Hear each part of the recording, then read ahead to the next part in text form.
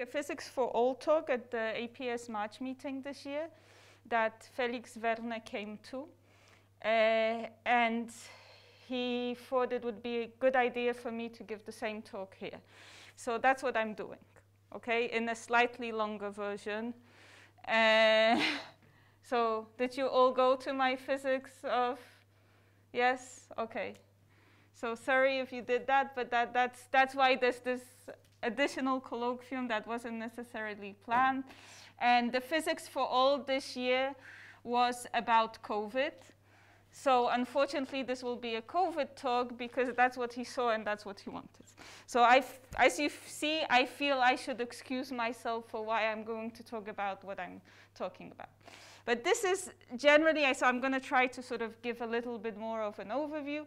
This is work we've been doing with Thierry Mora, who's also at the department for over large number of years now.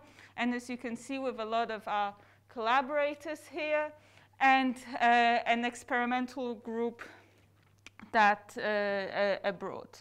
Okay, so given that it's late in the day and everybody's pretty tired, so I'm going to start with uh, who done it. So imagine your life pre-COVID. Looking at you, most of you had a life pre-COVID, so that's good. You would go to scientific meetings in remote locations. There would be excited scientists, an amazing party later. And imagine that the next day Joe is found dead. And next to Joe's body, there are a few drops of blood that don't belong to Joe. So this being scientists, they cry genetic tests for everyone. And genetic tests reveal that the murderer is one of two twins, Alex or Terry. Now, genetic tests test your DNA, and identical twins have exactly the same DNA. Okay, oh, I'm supposed to take my mask off also.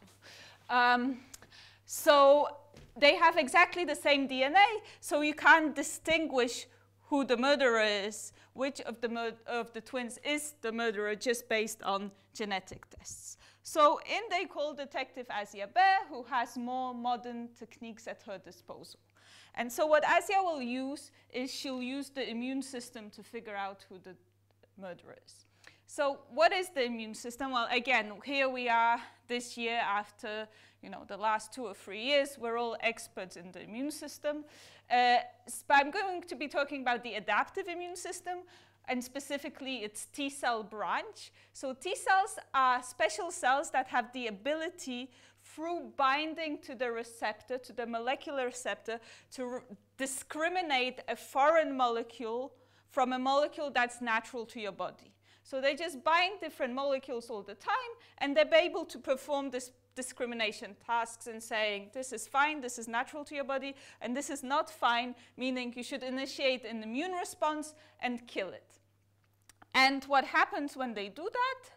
Well, when they recognize a, a, pathogen, they proliferate. They make many copies of themselves, and this helps them target the, uh, the, the, the, the, pathogen more quickly simply because there's more of them. So they make what's called a clone, and then the clone gangs up and kills the pathogen.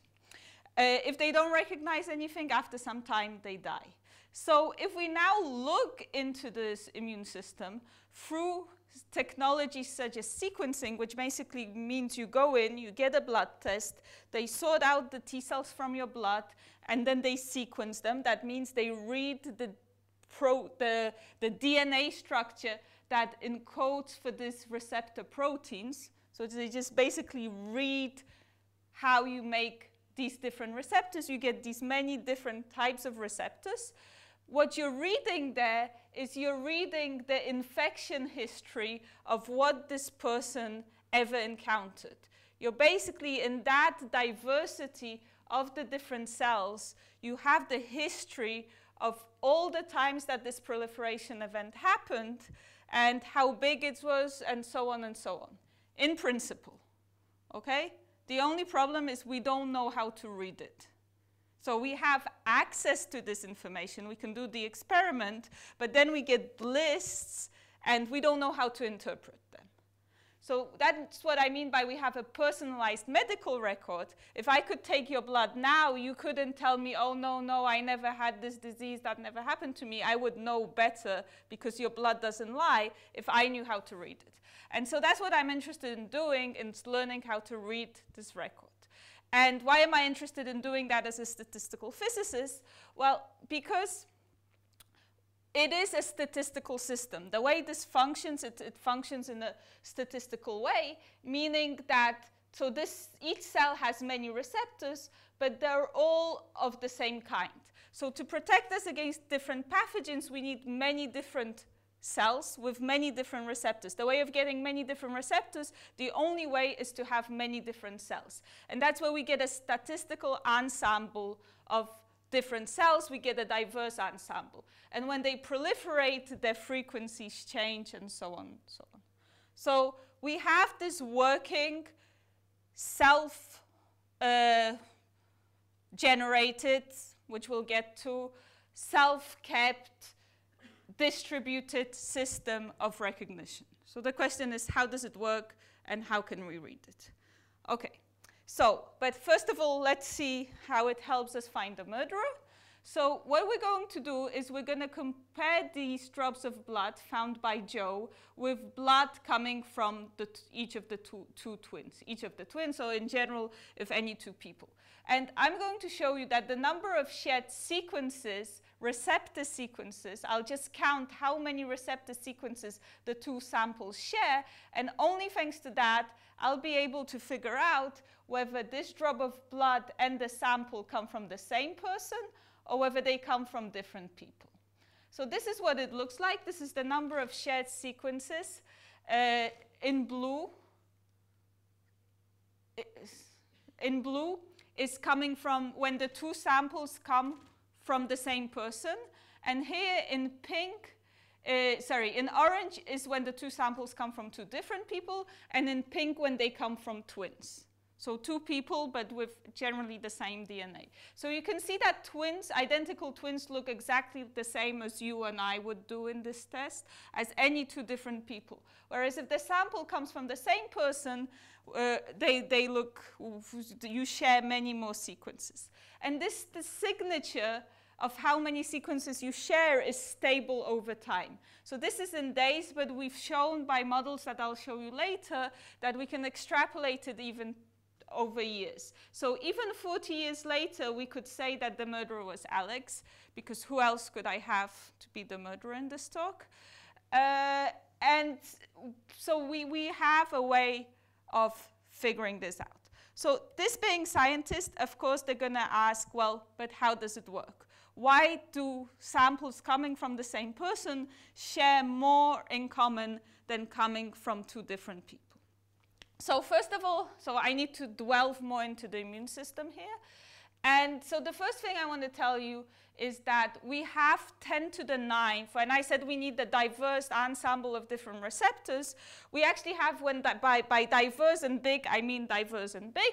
So we have 10 to the 9th uh, different receptors in each of us, at least. Okay? So that's what I mean by roughly diversity. And so receptors are proteins. Proteins are encoded by DNA. If you wanted to encode each of these receptor proteins in your DNA, since each of your cells has the same DNA, that's a fact from biology, uh, you would need to encode 10 to the ninth different genes. You would need to have 10 to the ninth different genes, okay, in each cell. So, so far you're fine because you don't know that you have overall all the other genes in your body, you only have 10 to the 4. Okay, so this is five orders of magnitude more genes than you have otherwise for all the different genes. So that means if we want to squeeze them in there, well, so what does it mean? Right, we have 10 to the 4th genes total, uh, nucleus in general, that's where the DNA is in the cell, is about the size of one pixel. So if we now want to squeeze these additional 10 to the fifth genes, that means our nucleus should be 30 centimeters long. So apparently, according to Google, the only thing in the world that is 30 centimeters long is a Subway sandwich. So that would be our nucleus, and that means our body would be the size of Mount Everest. So you see a scaling problem. Okay. So how does it work? So nature has come up with this really funky way of generating diversity, which combines combinatorics and randomness. So now you may be starting to understand why we got interested in this problem. So each of your receptors is made out of three parts. They're called V, D, and J. And you have a number of templates uh, in, your, in your body for these genes. So you have genes that are, yeah, it's fine. Uh, you, you have basically templates for each of these parts, some certain number, and in a process, a specific process, you pick one V, one D, one J, and you edit the DNA. You cut the DNA in your cells. So your immune cells actually have different DNA than all your different cells in the body, at least in this place, because you only keep one V, one D, one J. And so you can see from these numbers that if you do the combinatorics, you get to the order of a thousand different combinations. But we need to get to 10 to the ninth. So we have a few orders of magnitude to go. So what happens next is there's special molecules that randomly insert and delete uh, what are called nucleotides, which are basically letters. So this is how this, this is what comes out of the sequencing machine. That's what it looks like. So they randomly insert these letters and take them out and delete them at these junctions. Okay, so let's think about that for a second. So most of you are probably not familiar with nucleotides. So let's think about words. Imagine you take two words like biological physics and now I'm allowed to, in the middle, I'm allowed to delete and insert anything I want.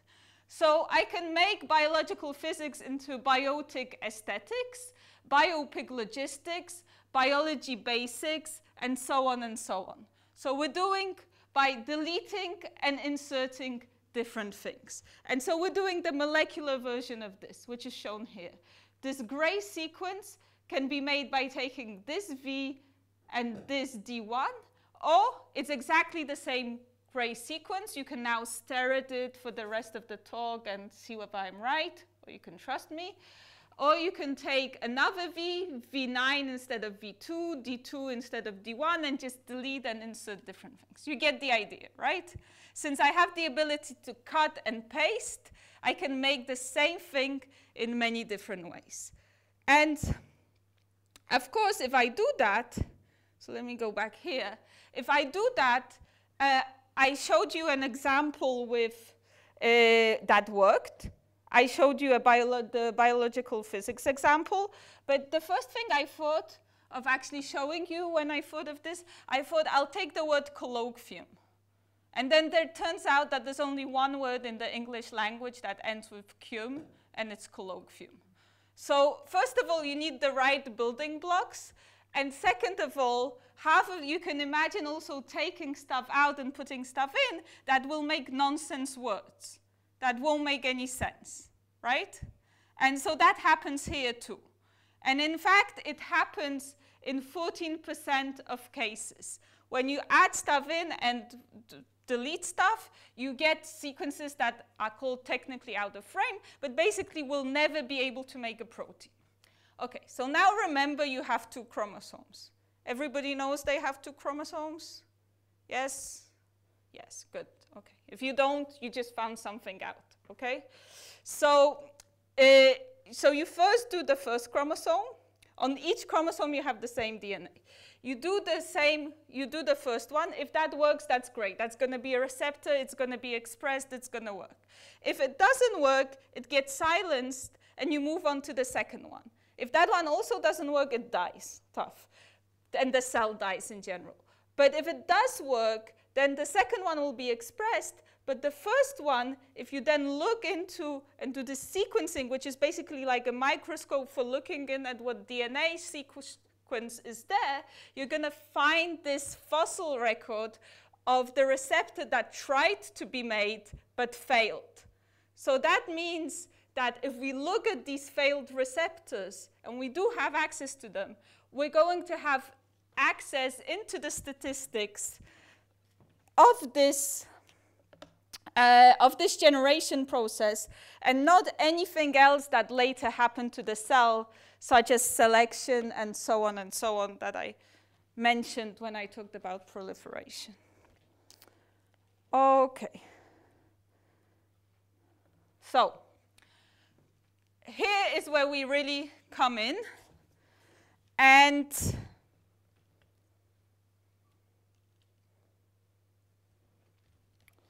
okay. And so now what we want to do is we want to say what is the what are the statistics of this process? We want to learn something about this process. So we have these failed receptors to do something about it. Uh, but how are we going to do that? So the name of the game is what's the probability with which each of these receptors is made in you? So now we could also play a game. You could take out a piece of paper and write down, say, 60, 80 CGs in whatever order you want. And you can give it to me, and I can tell you what's the probability that this is a T cell receptor that's made in you. Okay? I'm very confident here. I know I can do this. So how can I do this? Well, how would I do this? How would I estimate the probability that uh, I, I, it, we make a given receptor? So the first thing is I take these sequences and I try to find the most likely V, D, and J that made it. And as I showed you on the example with words and on the previous slide, there's many different ways I can make each sequence. So instead of taking one sequence, I, can, I, I, I can't do that. I can't figure out exactly what, which genes made this sequence. However, I can make a library of possible scenarios, by which I mean choice of V, D, and J that made this given sequence, right? Just as I showed you on the previous slide. I'm a bit afraid of show moving anything, but uh, I showed you two scenarios here, but I can, you can see that I can easily find more and more just like I did with the words. So I make a list of all the scenarios, so choices of all these processes that are consistent with a given sequence, and then I assign weights to them. And then I sum over all the all these weights and all the sequences to calculate the mean probability of using a given V gene, of having a given number of insertions, deletions, and so on and so on. And then I have a model, which is the most general factorizable model. And I used, I plug these into this model and recalculate these weights. And I do this self-consistently until it converges. And then I have the elements of my model, which are the probability of using the V genes, D genes, and so on and so on. Okay, so either, either you get, so there's a few things to take away. First thing, I have a way for figuring out what, what's, the what, what's the probability of each of these scenarios. And then once I have the probability of each of the scenarios, I just sum over them to calculate the probability of generating each sequence. So the first thing is I just have a way of figuring out what's the a, a Bayesian way, a probabilistic way of figuring out what's the probability of each of these sequences. The second thing is, if you don't care about that, if you care about more details, is that I do it in a probabilistic way. I don't say there's one winner, I sum over all of them.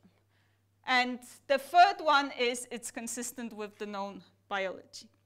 So at the end of the day, if I ask what are the statistics of the probabilities of generating all of these sequences, this is what they look like. So I ask how many sequences do I have? In my sample that have a probability to be generated that's 10 to the minus 10. I put across 10 to the minus 12 and so on. I make a probability density of the probability of generating these sequences. And this is what it looks like. So the first thing is it scans 20 orders of magnitude. So there are some sequences that are relatively easy to be generated. And why do I say that something that has 10 to the minus 5 probability, which is still a low number. Why do I say it's easy? Well, remember we generate at least 10 to the ninth of them. So these ones that have a probability 10 to the minus 5 are really likely to be generated in all of us. And then the ones that have a probability that's 10 to the minus 25, they have a much lower probability. And if you, and what, so so that's one thing, it scans a lot. The second thing is what's the red? The red is the variance, or the standard deviation, coming from about a thousand different people. So basically there is no standard deviation. So that's why I'm so confident that if you hand me that piece of paper that you never wrote, I could tell you what's the probability that you generated that DNA sequence as a T cell receptor. And if you're interested, there's a web app that does that. It's called SOS. So if you Google SOS ENS, you can now stop listening to me for the rest of the talk, but play the game. It works on your phone. Okay, but that's the, that's the general thing. It basically means this is a really universal process. Okay, it's a stochastic process. It's a fully stochastic process. These are probability distributions. However, in all of us, we all have the same probability to generate a given sequence. So what are we? We're really random receptor generators. We have exactly the same machinery. We have like the same die that we roll. But of course, since it's a stochastic process, we generate different realizations of this stochastic process. And for this reason, we're all likely to generate these ones that are, sorry, these ones that are here, but we're less likely to generate the ones that are here. So it's thanks to these that we find the murderer. Because these ones are going to be private and only generated in each one of us, and these ones we're going to share with everybody else. That's the idea. But from now on, you can think about yourself as a random receptor generator. And you're walking around with this realization that protects you against pathogens. Okay, so in that vein, we now have, I know what's the probability of generating a new receptor. I won't tell you how, but it's a similar learning process that we can learn about the selection processes that happen later. So in the end, I know exactly the probability um, of seeing a given receptor in your blood. So I can compare that probability by ob observation, but I can basically compare and I, I, can calculate the expectation, what's the probability that you and I share receptor? Since we're in independent random receptor generators, that's just the square of the probabilities of it happening in each one of us. And so then I can ask how many receptors are shared between n people, 2 people, 10 people, 100 people, 1,000 people. And I can compare data in blue to the model prediction. And you can see that it agrees perfectly. So I can predict how many receptors, although it's a super complicated stochastic process, I can predict how many receptors we're going to share. And it turns out that it doesn't matter how much soy milk we drink, where we come from, or what we do. We share as much receptors as this biochemical process tells us at the level of unique receptors because we share the common ones. Okay, so at this point you may be worried about the worldwide population. So, well, you may be worried about the worldwide population in general for other reasons. So there I cannot reassure you, but I can at this, for this point. If we take the 10 billion people that are on the planet right now, we could ask, have we exhausted the possibility? Have we generated every possible receptor there is to generate, that this process can generate? And the answer is no, if we count the different T cell receptors, so we only add new ones to our list, we see that at the 10 billion people, the curve doesn't saturate, it doesn't plateau. It keeps on going at the same rate. So each new person adds a completely new receptor, a set of completely new receptors from that 10 to the minus 25 part of the distribution. So at least in that part, humanity is fine, and thanks to this, we can identify the murderer even if we had to test everybody in the world. Okay, so yeah, I can skip this. So the other thing, since we tested our conference participants, it turned out that they had COVID, and um, at least two of them, Pat and Terry, and so we ended up in our, the well-known scenario from the last couple of years. Uh, but these being, again, very sure of themselves scientists, they said, well, when we go and we test, you know, we figure out whether we had COVID, what they look for, what they do is an antibody test. And antibodies are B cells and not T cells, so how can you tell us they had COVID by looking at T cells? So it turns out you can, and uh, I'll show you that and tell you a little bit more of a story. So our two protagonists, Terry and Pat, before going to this conference where the, Joe got murdered, uh, they went to a skiing conference, so also something that you should be intimately familiar with from your own experiences. And of course, going to a skiing conference in February of 2019 was like asking for it to get COVID. So they got COVID.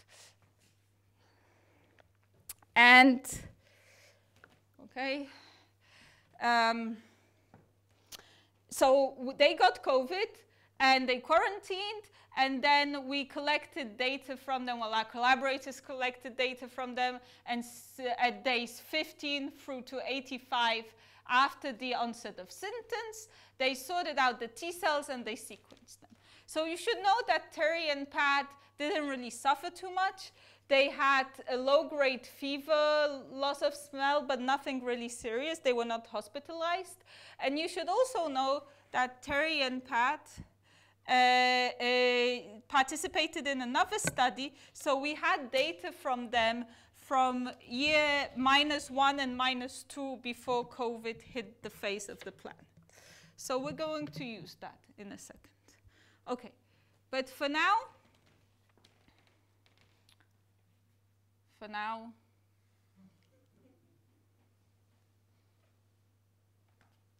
Okay, So for now, we just have this data, so this is what it looks like. So now we're going to look at the frequency, the abundance of each of these, uh, of the different T cells in the body as a function of the days after the infection. And this is what it looks like, okay? It looks like an absolute mess. What you'd like to see is you'd like to see a peak somewhere of T cells responding to an infection but you see something that you really can't make sense of. So the first thing we did is we did PCA on trajectories, and we've identified clusters. We identified three clusters, the purple cluster, the nothing happens cluster, the, the frequencies of these don't change as a function of time. The green cluster, which is what we expected with a peak at day 15 after the infection, and then a secondary cluster at day 37, which we still don't completely understand, but other people have seen it since then. Okay, but since the data looked like this, doing this didn't really inspire confidence in us. So to, to sort of bring that home a little bit, you also see these two X's up there. And what that means is we had replicates. So we had two samples from the same person at the same time. So this is data from Terry on day 15 uh, from one sample and the other sample. And this is the abundance. This is the number of T cells of a given type. So each dot here is that, that specific T cell in one sample and in another sample. So this is the immunological definition of a diagonal. Okay, this is the same data just separated in two. And you see that in you, it's, the data is so noisy that in some cases you have one cell in one sample and 100 cells in the other sample. So it's really very noisy. So that's why we're very, you know, squeamish about uh, Uh, analyzing this. And we also know where this noise comes from. Because of course there's experimental noise, but there's sampling noise, right? I mean, you sample, you don't, you know, you don't, you're not a complete vampire, you don't get all of the blood out of this person. So sampling noise is Poisson noise, but we also know that what we're looking here is we're sequencing mRNA. mRNA is the step in between DNA and protein, and when mRNA is produced, it's produced in bursts. It's an intermittent process. Okay, nothing happens and bam, nothing happens and bam. So uh, basically we know that the noise model for mRNA production has long tails. So we, we put in a negative binomial as the noise model. And we also know, and I'll show you later if I have time, that the underlying distribution of the frequencies of these abundances is a power law. So this is the truth, the underlying distribution. This is what we see in the experiments. So you can see that it's got basically accumulated through sampling, this intermittent process starting from a power law. So that's what we put into our noise model, and we use the same time replicates uh, to learn the parameters of the model. And once we've done that, once we've calibrated the noise model, we can use that as a basis for the probabilistic inference of response. Okay, and so what is response? We basically say that the frequency at a later day is the frequency of an, at an earlier day times some expansion, which we model as an exponential process. We know that not all clones expand, so we have a fraction of non-expanding and a fraction of expanding. And then we use the posterior distribution to identify expanded clones. And we get the same trends we had before. This is the green contracting. This is the secondary at, with a peak at day 37, but I've added the time points at the year minus 1 and minus 2 to show you that this really is an expansion uh, at day 15. So we see this large expansion, and what does it correspond to? So what we're going to look into now is a special subset of T cells after an expansion, after an infection, the cells that took part in killing the, the pathogen. Some of them get the T cells that basically took part in the infection, in quenching the infection. Some of them get set aside and given a special flag, which molecularly is a receptor, which says basically you took part in an infection. It's like getting a medal after you've gone to war kind of thing. And then they have their own meetings, their own nonlinear dynamics and all that. And this is called the memory repertoire. So uh, when we look, so let's just con concentrate at this contracting peak. Uh, when we look only in the memory repertoire, we see the stable memory cells after the infection. So these people basically have long-lived immunity after the infection. But more interestingly, there's also memory cells that recognize COVID before the infection. Okay, I'm only talking about memory cells now that, that we, we take the ones that we identify as responding to COVID, and we see that they're, they're in the memory pool after, but we also see that they're in the memory pool before. So these people had immunity against COVID before COVID ever hit planet Earth, at least humans, okay?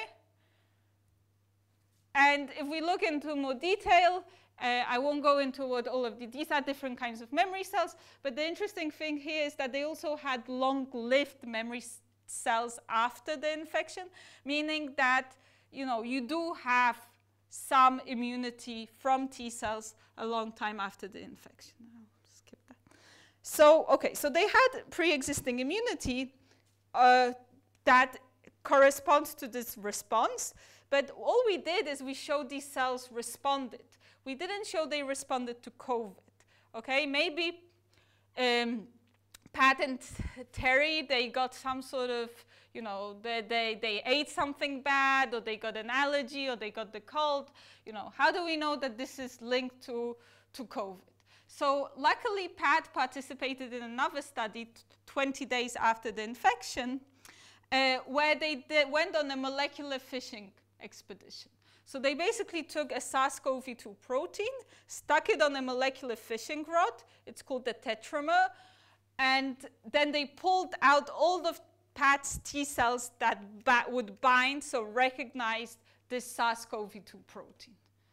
And then, so we had that list, and then we could look in our data set whether we see them at other time points. And that's what this trend is. This blue curve is basically reproducing the, the, it, it reproduces the trend we saw with a peak at 15. And what that means is the green ones here are the ones that we found independently by our method. So we're basically able to get most of the high frequency responding uh, SARS-CoV-2 re responsive uh, SARS-CoV-2 T cells. So we are getting SARS-CoV-2 responsive T cells, and we're getting more than with this experiment because here they only stick in one SARS-CoV-2 protein, whereas when you get a real response, you're responding against different proteins coming from the virus. So we're getting more than them, but the ones that are consistent with them are the same. So this gives us confidence we're talking about SARS-CoV-2 and not uh, old cheese. Okay, so pushing with that, there was another uh, large-scale fishing experiment that was done, uh, this time by Harlan Robins' lab, where they took many SARS-CoV-2 proteins, put them on many fishing rods, and stuck them into the blood of many people and pulled out the responding T cells. So we took all of the responding T cells they found, mixed them with our responding T cells, and built similarity networks. So we basically put links between T cells that differed by at most one amino acids. And thanks to the fact that they stuck in many different fishing rods with many different SARS-CoV-2 proteins here, we now know what these clusters correspond to because we know what the green ones actually respond to, what SARS-CoV-2 protein they respond to. So this is what it looks like. I won't talk about it in detail. I'll just focus on the pink one, which is PAT's, what's called an immunodominant epitope, it means that 21% of all of PAT's T cells responded to this one SARS-CoV-2 protein. So let's look at it. This is what it looks like. And T cells that responded to this SARS-CoV-2 protein were already in PAT's repertoire a year before the infection. So PAT already had immunity against this SARS-CoV-2 protein before SARS-CoV was there. But one point mutation from this protein gives you the common cold. Okay, and there's a phenomena called cross-reactivity, which is like little Gaussians around the receptor, that a receptor can recognize not just what it's specific for, but some stuff in its environment. So Pat probably got the common cold, developed immunity against that, and that helped Pat deal with SARS-CoV-2 when it arrived. I'll maybe skip this. So going back to the fact that I showed you that we can predict uh, how many receptors are shared between any number of people. We can do it. This is the same thing I showed you for T cells. This is for B cells. But it turns out that if we do it for people who, for B cells in people who recently had SARS-CoV-2, we can't do it. So people who recently had SARS-CoV-2 share many more B cell receptors than anybody else. So what COVID does is it focuses your repertoire. It gets rid of the diversity. And not all infections do that. In fact, any other infection we've looked at doesn't do this. So this is interesting. Okay, and just to finish, uh, the other thing we can do with these kinds of things, this is the sort of same thing I showed you about building a noise model uh, so this is in blue, the replicates, the frequencies in one sample versus the sam another sample. We can also look at longer time scales and learn something about the natural dynamics of repertoires. So by taking data from people a year and two years apart, which is what this red data is, uh, and comparing it to the expectation of a control, we can learn what is the natural dynamics of repertoires when in principle nothing happens. Because as I said, it's a stochastic distributed system. Even when nothing happens, it doesn't mean everything doesn't move that there's no dynamics. There is random dynamics. So before that, I talked about response dynamics, so perturbation dynamics. That's what SARS-CoV-2 is. That's what COVID is. It perturbs your system. It forces a strong response. But now I want to talk about the sort of stable, you know, just fluctuations. So what happens there? Well, if we look at the clonal abundances, basically these T cells divide and they die. So uh, for each type of clone, I can go, I can basically divide this equation by C, rewrite it as d log C, and uh, write down the dynamics, the mean dynamics, which I denote by 1 over tau, which is the net mean decay rate, and then the noise. And I'll show you that this kind of description with uncorrelated noise is the right one. So it seems very simple, especially since we're coming from something much more complicated. If we think about all the details of the model, well, there's cell death, but there's some basal growth rate, some basal division rate, but there's also division stimulated by these antigens. So even as I said, when nothing happens, we're probably protecting ourselves constantly about, against not maybe very dangerous things, but there's maybe some little proliferation events and so on. So there's some decay of antigens that, or pathogens that infect us, which then stimulate growth of these cells, and there's this sort of complicated dynamics. And on top of that, uh, there's a constant introduction of new T cells, so new clones, from this generative process we already talked about. That happens all throughout your life. So if we simulate this process, we see that uh, the clone size cl basically clones can shoot up and go down very quickly. It's evolutionary dynamics, they always die at the end, but before that there's stuff like that. And if we collapse this into a cumulative distribution of clone sizes, we get a power law distribution, which is what we see in the data. So how do we, how can we describe this? Well, what we're going to say is that instead of worrying about all these details, we're going to say that the clone size is described by a mean fitness, so mean growth rate, which is deterministic, which has to be negative because clones on average die, and uh, fitness fluctuations around this mean. And the fitness fluctuations are driven by the environment, which depends on some properties of the pathogens and some other variability. And it turns out that, uh, well, and again, if you still simulate this, you get a power law, so we're good. And then we further make an approximation that the environment autocorrelation is much fast, is much slower uh, than all the other timescales. And in this case, basically this noise in the environment can be forgotten and um, uh, and we decorrelate it and we come up with an uncorrelated environment.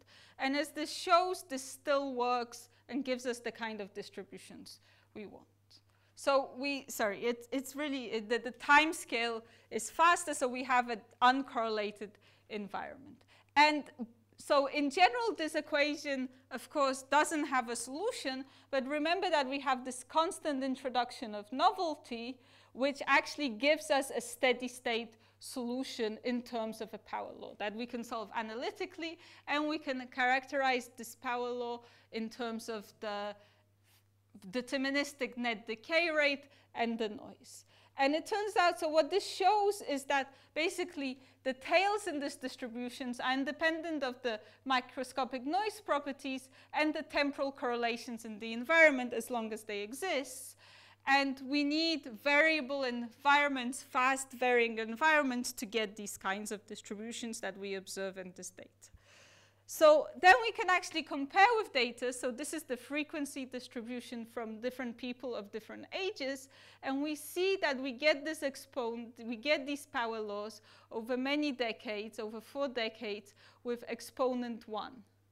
And then we can perform the same kind of inference or similar inference that I showed you before with the noise model and then learning this kind of dynamics to learn the parameters, the noise parameter, and the turnover parameter, and we see that they all independently, so we don't learn it from this, we actually learn it from the dynamics, but they all fall on this curve defined by uh, this alpha 1 parameter. So this relation, although this turnover in some people is much slower than in others, they all fall on the same curve. And just to finish, so what does the turnover look like as a function of age? Well, it strongly depends on age. And as you get older, your turnover gets slower.